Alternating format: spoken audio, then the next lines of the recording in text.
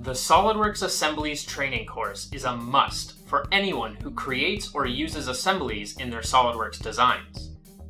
You will learn how to parametrically relate different components in the context of an assembly, master the art of creating and managing all types of mates, save time designing complex mechanisms, create multiple variations of your design, perform quick selections of components, and become confident working fast with large assemblies. Start off by understanding assemblies from the ground up, including their file structures and how they reference other files.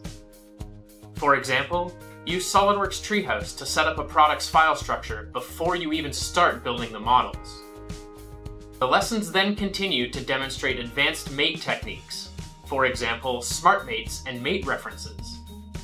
You will learn details about configurations and display states with assemblies, studying component patterns, configuration properties, mate controller, and appearances for your designs.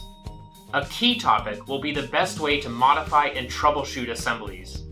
A broken assembly could be caused by mate errors, or broken or circular references, for example.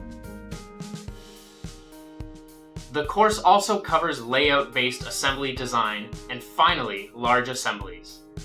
When working with large assemblies, it is vital to know best practices for manipulating them to optimize your workflow.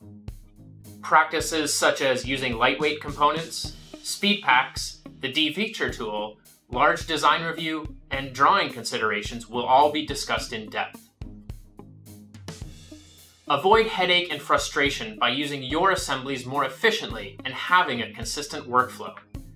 Become a specialist in working with SOLIDWORKS assemblies by joining a Javelin assembly modeling course today.